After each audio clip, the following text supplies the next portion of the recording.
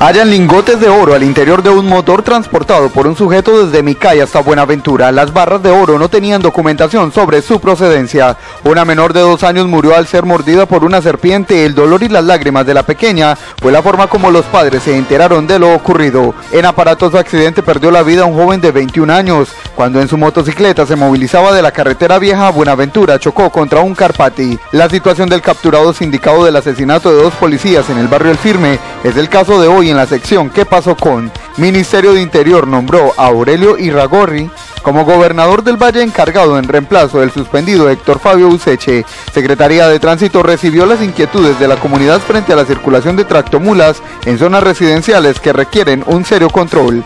Capitanía de Puerto decidió permitir el desembarque de pasajeros en la playa de Pianguita, esto frente a compromisos asumidos por el alcalde para construir un muelle en el lugar y ubicar salvavidas. Se robaron las vallas publicitarias con la imagen positiva de las playas en Buenaventura. La inversión se perdió. Gane Buenaventura sigue haciendo donaciones con responsabilidad social. Escuelas y otras instituciones recibieron cuadernos para niños de bajos recursos. Secretaría de Tránsito tiene listo dispositivo especial que durante la Semana Santa pretende disminuir los niveles de accidentalidad. En su rápida visita a la ciudad, viceministra de Transporte en forma superficial se refirió a los problemas de Buenaventura en materia de obras viales y el dragado.